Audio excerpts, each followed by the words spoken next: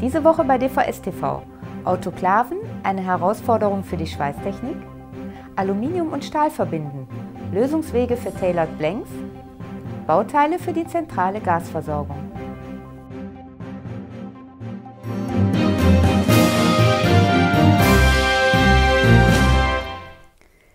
Schön, dass ich Sie auch in dieser Woche wieder bei uns begrüßen darf.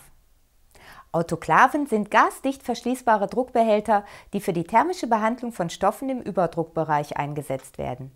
Autoklaven werden zum Sterilisieren, zum Aushärten von Baustoffen, zum Vulkanisieren von Reifen und Gurtbändern sowie zum Verpressen von Faserverbundwerkstoffen verwendet und kommen somit in der Medizintechnik, Lebensmitteltechnik, Biologie, Glasindustrie, Luftfahrtindustrie und in Steinfabriken zum Einsatz.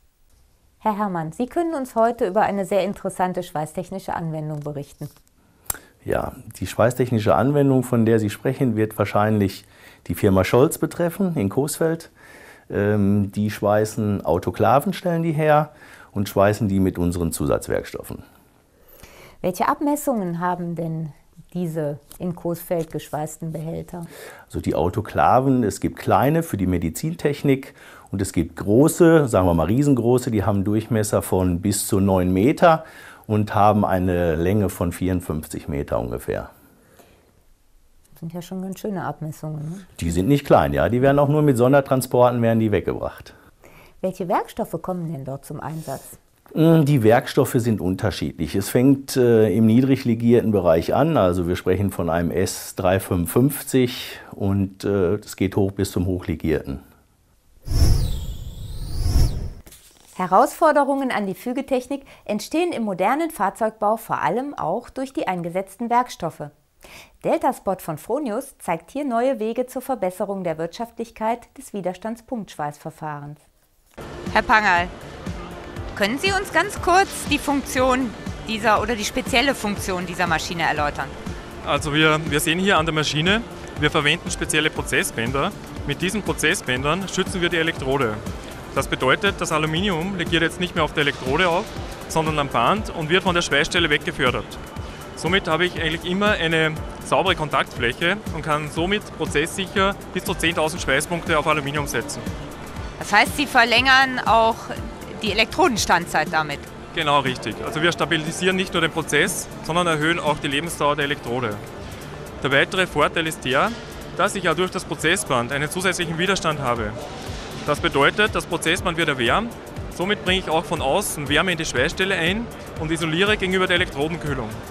Das bedeutet, ich brauche deutlich weniger Schweißstrom im Vergleich zum konventionellen Punktschweißen. Welche Materialien fügen Sie denn hiermit? Also hauptsächlich Aluminium. Äh, es ist aber auch möglich, zum Beispiel Stahl mit Aluminium zu verbinden. Ich kann jetzt unterschiedliche Prozessbänder nehmen mit einem unterschiedlichen Widerstand und somit kann ich gezielt Wärme äh, in, das jeweilige, in das jeweilige Material mit einbringen. Der Werkstoff Aluminium hält insbesondere in der Automobilindustrie verstärkt Einzug, auch in Form sogenannter Tailored Blanks. Blechplatinen, die meist aus unterschiedlichen Werkstoffen verschiedener Blechdicken fügetechnisch hergestellt und anschließend umgeformt werden. Hier kommen verschiedene Fügeverfahren zum Einsatz, wie das nachfolgende Beispiel aus der Automobilindustrie zeigt. Frau Dr. Rose, ich habe hier mal ein Beispiel aus dem Bereich des Automobilbaus. Also wir haben die ja, vor zehn Jahren sicherlich noch etwas äh, futuristische Variante, dass wir verzinkten Stahl mit ALMG-Legierung verbinden. Hier haben wir sogar zwei Verbindungsvarianten und Technologien der Firma Fronius an einem Bauteil. Und neben dem CMT-Verfahren konnten wir hier auch an diesem Bauteil an diesen Stellen auch Delta-Spot im Grunde genommen einsetzen. Also man sieht hier, man kann hier wirklich äh, sämtliche Vorteile des Delta-Spot-Prozesses ausspielen. Man kann hier wirklich verschiedene Materialien mit einem Fügewerkzeug verbinden. Ich habe hier zuerst ein, eine Stahlverbindung, im weiteren Schritt dann eine Stahl-Aluminium-Verbindung und dann zum Schluss habe ich noch eine Aluminium-Aluminium-Verbindung.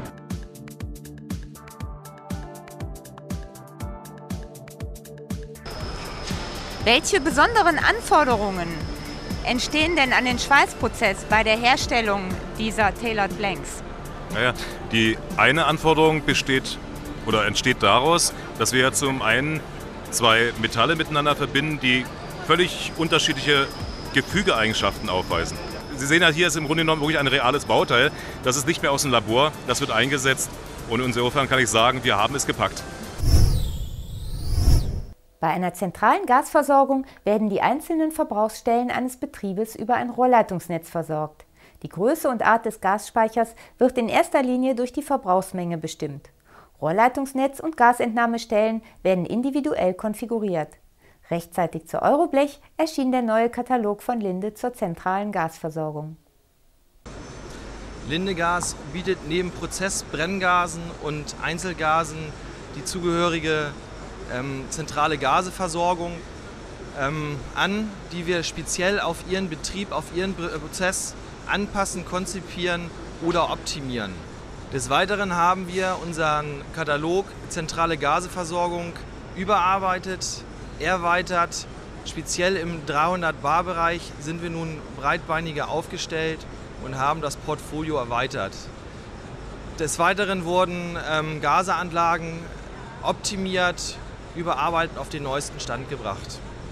In der nächsten Woche sind wir wieder mit aktuellen Themen für Sie da. Ich freue mich auf Sie.